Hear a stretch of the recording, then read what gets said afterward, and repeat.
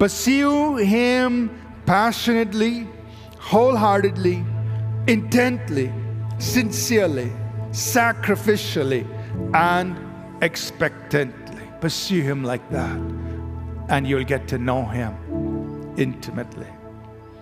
And out of that place of intimacy, everything flows, life flows. Fruitfulness comes in ministry, strength comes for life. Out of that place of intimacy with God, everything comes. Amen.